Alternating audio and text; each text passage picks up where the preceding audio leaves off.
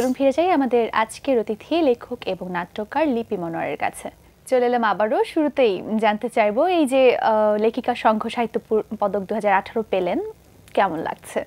যে কোনো পদক বা পুরস্কার সেটা তো অবশ্যই আনন্দের এবং সেটা কাজের স্বীকৃতি। সেই সাথে সাথে একটু বাড়িয়ে দেয় দায়বদ্ধতা সেই কাজের প্রতি আরও বেশি মনোযোগ আরও বেশি দায়িত্বশীল হবার সে প্রেরণাটা যোগায়। কি দায় নিজের মধ্যে অনুভব করছেন? অনেক কিছু অনুভব করি যা দায়িত্ব আছে প্রতিটা মানুষেরই থাকে। সমাজের প্রতি মানুষের প্রতি বা যে যে সেক্টরে কাজ করছে প্রতিটা জায়গায় তার দায়বদ্ধতা আছে আমি মনে করি। কারণ জীবন তো জীবনের জন্যই এই সেই দায়বদ্ধতা থেকে আমি যেখানে কাজ করি আমার লেখালেখি আমার মিডিয়াতে নাটক এবং আরও কয়েকটা জায়গায় কাজ করি স্বীকৃতিটা সেভাবে আমার কাজের প্রতি আরও বেশি মনোযোগী হওয়ার জন্য অনুপ্রেরণা যোগায়। এবং মনে করি যে আমি যা পেলাম তার চাইতে আহ, যে আমাকে যেভাবে পুরস্কৃত বা ই করা হলো সেই কাজটা যেন আরও বেশি করে যেতে পারি। উপন্যাস এসেছে আপনার আমাদের কাছে। শিশুদের জন্য লিখেছেন নাটকও লিখেছেন বহু। প্রথমেই যদি উপন্যাসের জায়গা থেকে আসি নিজের লেখালেখি সেই উপন্যাস লেখা কবে থেকে শুরু করলেন? কীভাবে উপন্যাস লেখা শুরু হলো? অনুপ্রেরণাটা আসলে কোথা থেকে পেলেন? আসলে উপন্যাস তো ওভাবে আসে না আমি অনেক সেক্টরে লিখছি। শিশু সাহিত্য কাব্য কাব্য দিয়ে শুরু কবিতা আচ্ছা, দিয়ে আচ্ছা, শুরু কবিতা দিয়ে শুরু, অন্য সবার মতোই। সেটা অনেক আগে থেকে। স্কুলে স্কুল ম্যাগাজিনে লিখতাম তারপরে লিটল ম্যাগে। এইভাবে শুরু হয়েছিল কবিতা দিয়ে। কিন্তু আচ্ছা, আমি এখন। কবিতা লিখি না খুব একটা। আছে কাব্যগ্রন্থ কিন্তু আমি আসলে গদ্য সাহিত্য চর্চা করি। সেখানে উপন্যাস আছে তারপর ছোট গল্প আছে তারপর নাটক এগুলি লিখছি। আর উপন্যাসটা তো আর পরে এসছে আমার। প্রথমে শিশু সাহিত্য পাশাপাশি আমার ইয়ে ছোট গল্প এগুলো এবং পর- পরবর্তীতে উপন্যাস। মানে পর্যায়ক্রমে চলে আসছে কিন্তু এখন সবটাই লিখি। আচ্ছা শিশু সাহিত্য যেটা সেটা তো শিশুদের জন্য এবং উপন্যাসটা তো একটু বড়দের জন্য লেখা হয়। তো দুই জায়গা থেকে একটু জানতে চাই যেহেতু শিশু সাহিত্য দিয়ে প্রথম শুরু করেছেন সেই জায়গায় লেখালেখির আপনার অভিজ্ঞতা কেমন বা তাদেরকে নিয়ে কাজ করতে গিয়ে আসলে ঠিক কি ধরনের অভিজ্ঞতা আপনার হয়েছে? শিশু সাহিত্য দিয়ে শুরু কিন্তু হলেও আমি কিন্তু প্রতি বছরই আমাদের বড়দের লেখালেখির পাশে আমার শিশু সাহিত্য একটা থাকে মেলায়। আমি ওখান থেকে দূরে সরে যাইনি। আমি শিশুদের জন্য লিখতে পছন্দ করি এবং আমার ভালো লাগে। আমি বড়দের জন্য যাই লিখি না কেন শিশুদের জন্য একটা বই থাকে আমার প্রতি বছর মেলায়।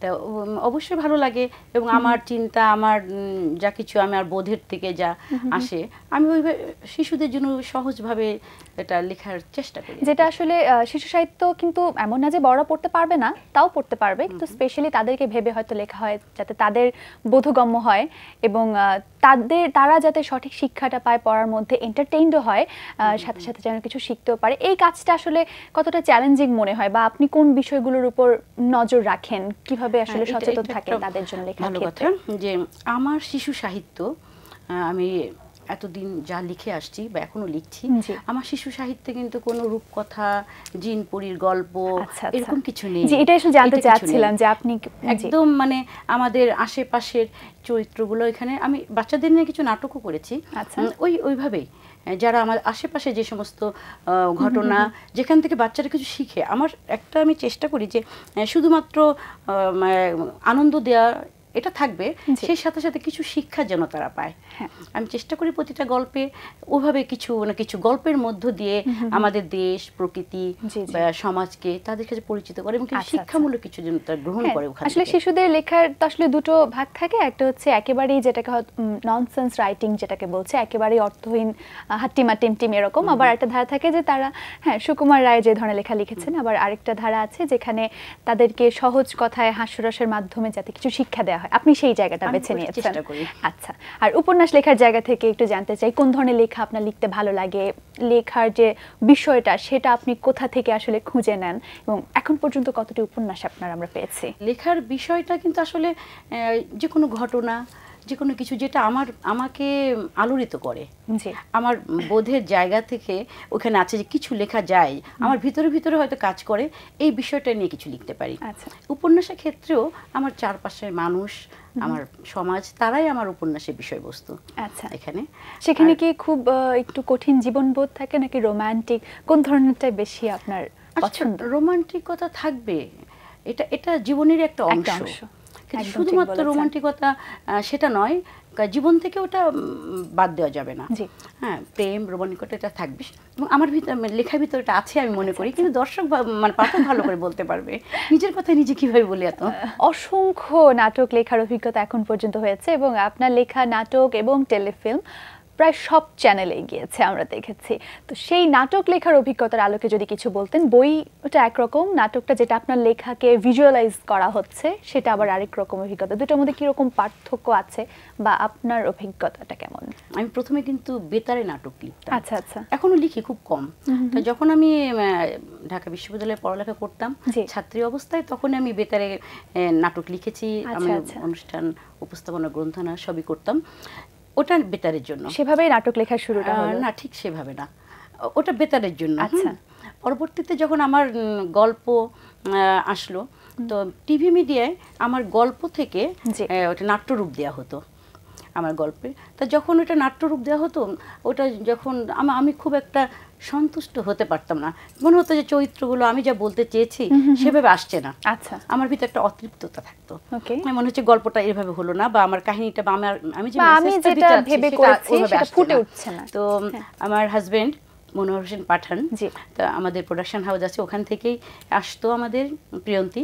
তো তো তখন সে একদিন আমি সব খুদ খুদ করতাম এই গল্পটা নষ্ট হয়ে গেছে আমি যাব ওইভাবে আসিনি। তো আচ্ছা। তখন তুমি নিজেই লেখো না কেন? আচ্ছা। তোমার গল্পের তুমি নিজেই চিত্রনাট্য দাও। তারপর আমি আমার প্রথমে আমার গল্পের আমি চিত্রনাট্য দিলাম তারপরে মৌলিক নাটক লেখা শুরু হলো। নাট্যকার হিসেবে কাজ করাটা শুরু হলো সেভাবেই যে নিজের আত্মতৃপ্তিটা যাতে পাওয়া যায়।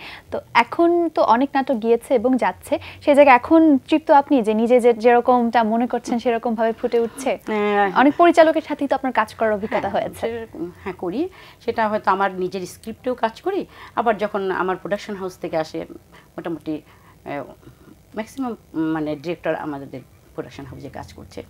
হ্যাঁ ওই পরিতৃপ্ততার কথা যেটা আসছে সেটা কিন্তু আসলে আমার কাছে আসে না এখনও আসে না। কেননা আমি যে নাটকটা যেভাবে লিখি আমি লেখক হিসেবে যখন একটা নাটক চিত্রায়ন করছি আমার মাথায় আমার চরিত্র আমার চিন্তা থাকে যে এই ক্যারেক্টারটা তাকে দিয়ে করাবো। আমার কল্পনায় থাকে এই এই ক্যারেক্টারটা সে করবে। বা এরকম ধরনের একটা আচ্ছা, আচ্ছা। মানুষ বা এরকম ধরনের একটা অভিনেতা অভিনেত্রী। কিন্তু যখন আমি ওটা শুটিংয়ে যাই তখন হয়তো দেখা যাচ্ছে ঠিক তাকে পাচ্ছি না। আচ্ছা। মিলছে না।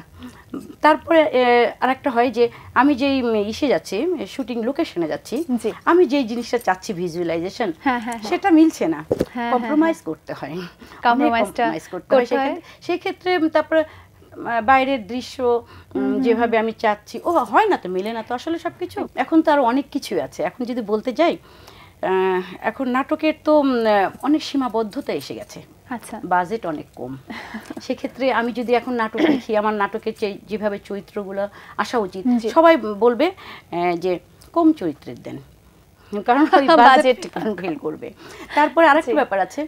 চ্যানেলগুলো বলে কি যে আপা ইয়ে করেন। একটা প্রেমের গল্প দেন একটা হাসির নাটক দেন।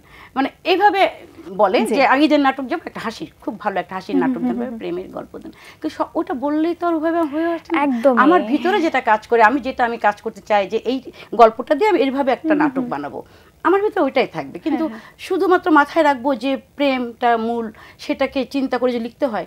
সেভাবে আসবে না আমার আসে না অন্তত। হ্যাঁ, হ্যাঁ, আর ওভাবে আমি হাসি বা যে হাসি বলতে যেভাবে বলে মানুষকে মানে দিয়ে হাসানো সেটাও আমি লিখতে পারি না। এটা আমার অযোগ্যতা। একদমই কিন্তু না আসলে একজন লেখক তো লেখক স্বাধীনতার একটা ব্যাপার আছে নিজের মতো করে লেখা। কিন্তু আবার যেহেতু এখন একটা জায়গা আপনি তৈরি করেছেন আপনার কাছে সেই আবদার সেই চাহিদাটাও আপনার তৈরি হয়েছে। সেই জায়গা থেকে হয়তো চ্যানেল একটা জিনিস বলছে যে বিশেষ দিন উপলক্ষে একটা প্রেমের লেখা লিখে দিন। এটা তখন কঠিন হয়ে পড়ে তাই তো? তারপরে কঠিন হলে আবদারটা তো রাখতে হয়। তখন আসলে নিজেকে কীভাবে সেটার জন্য তৈরি প্রেম তো থাকেই। প্রেম কিন্তু মানে বিশেষ একটা বিষয় যখন নির্ধারণ করে মানে সেটা অনেক ধরনের। প্রেমটা অনেক রকম আছে। প্রেমটা শুধুমাত্র একটা ইয়ে একটা ছেলে একটা মেয়ে তা না বাবা মায়ের আছে সন্তানের সাথে আছে। প্রেমটা কিন্তু অনেক প্রেম ছাড়া কিন্তু জীবন না। প্রেমটা সব জায়গায় কিন্তু সেটাকে যদি শুধু আমরা একটা জায়গায় দেখি স্কুল কলেজের সেই জায়গাটা আমার কাছে সীমাবদ্ধতা মনে হয়। আচ্ছা। কিন্তু আসলে প্রেম সব জায়গায় আছে। ওভাবে দেখলে কিন্তু আসলে এর বাইরে কিন্তু কিছুই নাই জগতে। আচ্ছা। সব জায়গায় এটা আছে যাই হোক, পশু পাখি গাছপালার প্রতিও একদমই তাই সবকিছুর মধ্যেই তো প্রেম আছে অনবদ্য একটা ব্যাপার। আপনার তো সব ধারাতেই মোটামুটি লেখার অভিজ্ঞতা আছে এবং অনেক দিন ধরে লিখছেন সেই জায়গা থেকে একজন লেখকের জায়গা থেকে একটু জানতে চাইব। বর্তমানে বাংলা সাহিত্যের অবস্থান আপনার কাছে কেমন? আপনি কীভাবে মূল্যায়ন করবেন? বিশেষ করে যদি নতুনদের কথা জিজ্ঞেস করি তাদের লেখা কেমন লাগছে? সবাইকে আমার পড়া হচ্ছে সবটা তো পড়া হচ্ছে না। সবই তো আমার দৃষ্টিগোচর হচ্ছে না। আমি যে ঢালোভাবে কোনো একটা কমেন্ট করি এটা মনে ঠিক হবে না। হ্যাঁ কিন্তু অনেকে চেষ্টা করছে। প্রতি বছর বই মেলায় তো অনেক নতুন লেখক আসছে। তারপর অনেক বই প্রকাশিত হচ্ছে। তো সেখানে হয়তো সব তো আমি পড়ি না। মানে যতটুকুই হ্যাঁ। যে সমসাময়িক সাহিত্যের ব্যাপারে তবে হ্যাঁ কিছু বই তো অবশ্যই ভালো আসছে। ভালো বই আসছে। আর সব যে ভালো সেটাও বলব না। আপনার কার লেখা পড়তে ভালো লাগে? প্রিয় লেখকের কথা যদি জিজ্ঞেস করি। প্রিয় লেখক তো অনেক অনেক। প্রথম তো আমার যেখান থেকে মানে ভালো লাগা ভালোবাসা শুরু সে তো রবীন্দ্রনাথ। সেখান থেকেই শীর্ষেন্দু ভালো লাগে। অনেকের ভালো লাগে। বাংলাদেশে সেলিনা হোসেন তারপরে রিসেন্টলি যে পেলেন ইয়ে হরিশঙ্কর জলদাস উনিও মানে জেলে সম্প্রদায়কে নিয়ে লেখালেখি করেন। তো এরকম অনেকে আছেন। আমি আসলে সরি আমি সবার কথা বলতে পারছি না আমার মনে আসছে না। কিন্তু অনেকেই আছে ভালো লেখক আমি জি। পড়ি ভালো আসলে আপনার লেখালেখিতে আপনার অবদানের জন্যই তো বেশ কিছু স্বীকৃতি আপনি পেয়েছেন। তার মধ্যে যেটার কথা বলে আমরা আসলে শুরু করছিলাম লেখিকা সংঘ সাহিত্য পদক। সেই জায়গা থেকে আসলে যে লেখিকাদের জন্য মানে যারা নারী লেখক তাদের জন্য যে একটা সংঘ এবং তাদেরকে অনুপ্রাণিত করা বা নারীদেরকে লেখায় আরও উদ্বুদ্ধ করা এই জন্য যে একটা সংঘ। আপনার কাছ থেকে একটু শুনি যে এই গোটা ব্যাপারটা আপনার কাছে কেমন? আপনি কীভাবে দেখছেন? আসলে বাংলাদেশ লেখিকা সংঘ আমি কিন্তু এটার এবার সাহিত্য পদক পেলেও কিন্তু ওই সংগঠনে আমি সাধারণ জড়িত আছেন, জি। এই সংগঠনটা শুরু হয়েছিল উনিশশো তিয়াত্তর সালে। আচ্ছা। সে সময় যারা লেখিকারা ছিল তখন সদ্য স্বাধীন হয়েছে দেশটা। তখন নারী লেখকরা আসলে অবহেলিত ছিল। কোনো পত্রিকায় পাতাতে নারীদের জন্য লেখা যেত না সেভাবে। তো সেই সময় যারা ছিলেন যারা, যাদের হাতে এই সংগঠনটা শুরু হয়েছিল, তারা এখন কেউ জীবিত নেই। সে অধ্যক্ষা খুদেজা খাতুন অধ্যক্ষা মাজিদা খাতুন, কবি শামস রশিদ ওনাদের হাত ধরে এটা সৃষ্টি হয়েছিল হয়। সেই সময় ওরা এনাদের সাথে ছিলেন ডক্টর নীলিমা ইব্রাহিম আচ্ছা আচ্ছা তারপরে ওই আক্তার কামাল আপা তারপরে জাহানারা ইমাম আপা উনরা ছিলেন আচ্ছা। এটার সাথে আর এটার অভিভাবক ছিলেন সওগাত সম্পাদক নাসির উদ্দিন। এবং ওনার কন্যা নূরজাহান বেগম উনিও আজীবন আমাদের এই সংগঠনের জি জি। বেগম পত্রিকা সম্পাদিকা। উনি আজীবন আমাদের এখানে উপদেষ্টা ছিলেন মারা গেলেন কিছুদিন আগে। তা এর সাথে যারা যে সমস্ত নারীরা লেখা জড়িত আছেন তারা সেই সময়ের এক একজন মহিষী তারা একটা এরকম একটা সংগঠন সৃষ্টি করার জন্য প্রয়োজনীয়তা অনুভব করেছিল যে সেই সময়ের নারী লেখকরা সেভাবে ইয়ে পাচ্ছিল না। এখনও যে পাচ্ছে আমি কিন্তু সেটা বলব না। নারী আচ্ছা। লেখকদের ওভাবে কেন পাচ্ছে না? আপনার কি মনে হয়? এটা অনেকে কিন্তু অবজ্ঞার চোখেও দেখে। নারীরা আবার কি লেখে? হ্যাঁ তাদের লেখা কত মানসম্মত অত সুন্দর এরকম আছে কিছুটা থাকে। তো ওই একটা বৈষম্য জায়গা থেকে এই সংগঠনটা শুরু হয়েছিল যে নামটা আছে লেখিকা। নারী লেখকদের জন্য আসলে নারী লেখকদের জন্য। তাদের কার্যক্রমটা আসলে ঠিক কি রকম এখানে সাহিত্য সভা হয় প্রতি মাসে। তারপরে বছরে বই বের হয় সব লেখকদের নিয়ে। এ- আচ্ছা। এবছর আসলো আমার ছোটবেলা। এটা এবছর পঁয়তাল্লিশতম প্রতিষ্ঠা বার্ষিকীতে পঁয়তাল্লিশ আচ্ছা, জন লেখকের লেখা নিয়ে আমার ছোটবেলা গ্রন্থটা এসছে। এখানে ম্যাগাজিন আস- আছে।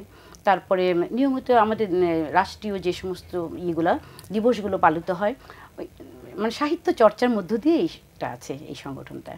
বাহ, এবং এটা আমার যতদূর জানা বাংলাদেশের প্রাচীনতম সংগঠন। ছোট্ট করে একটু জানতে চাইব আপনি তো দেশের বাইরে এখন থাকছেন এবং সেখানেও থাকা হয় আবার দেশেও আসা হয় আসা যাওয়ার মধ্যে আছেন। সেই জায়গা থেকে ওখানেও কিন্তু থাকলেও যেটা হয় যে যেই জায়গার সাথে জড়িয়ে আছেন সেটাকে ছাড়ার কোনো উপায় নেই।